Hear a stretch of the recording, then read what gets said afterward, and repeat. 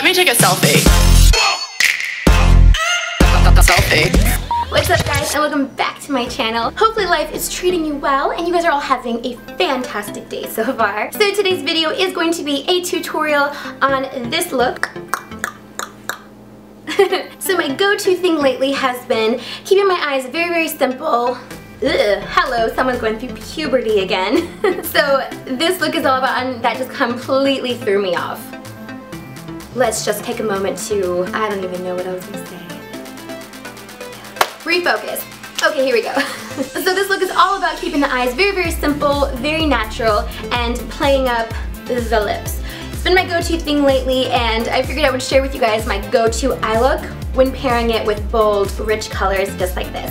And it was really, really hard to narrow down just five, but these are ones that I always go to. I love the colors, I love how they feel, and they're pretty long wearing and they have just, they're just my favorite. So yeah, with all that being said, if you're interested to see how I put this eye look together and my top five favorite bold, fun lip colors, then just keep watching.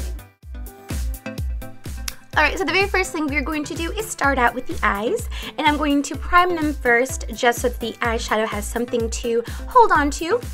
And then I'm going to take this warm kind of peachy brown shade and I'm to work that into my crease. Now for the rest of the eye look, I'm going to be using my In the Nudes Maybelline palette here. So I'm going to take a dark matte brown and just deepen up that crease a little bit more and then take a matte ivory shade and work that on the lower half of my lid.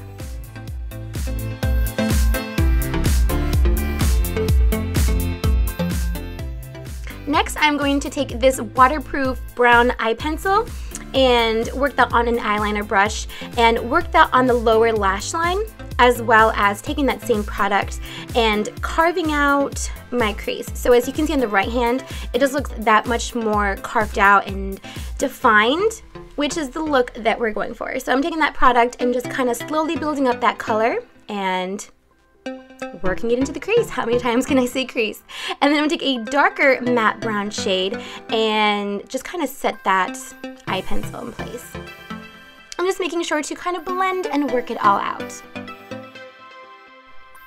Then for my eyeliner, I'm going to use this gel, this black gel liner, and just create a very nice bold wing with that.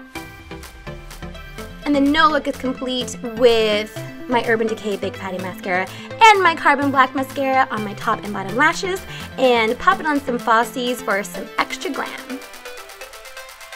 Now moving on to the rest of the face. So I'm going to warm up my face just a bit with this very nice bronzer.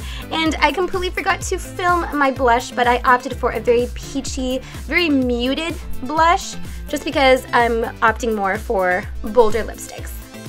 And speaking of lipsticks, now I'm to show you my five favorite bold lip colors.